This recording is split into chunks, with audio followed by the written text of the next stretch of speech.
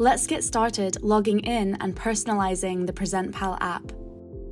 To create your PresentPal account, use the email address in your PresentPal welcome email and set a password.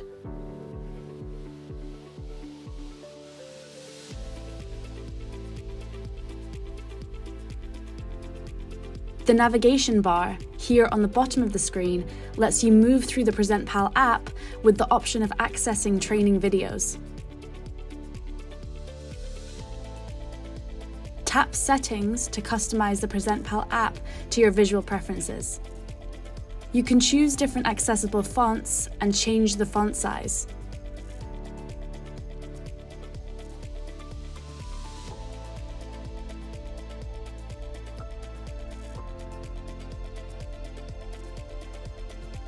Choose between 10 colour overlays, all designed to reduce visual stress and improve readability.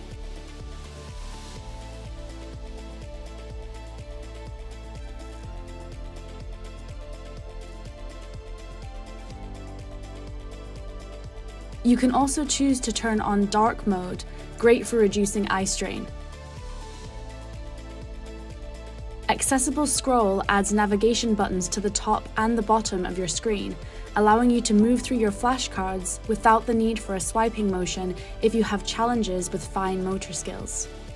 There is also an optional stopwatch that counts up instead of down to help you keep track of your presentation timing.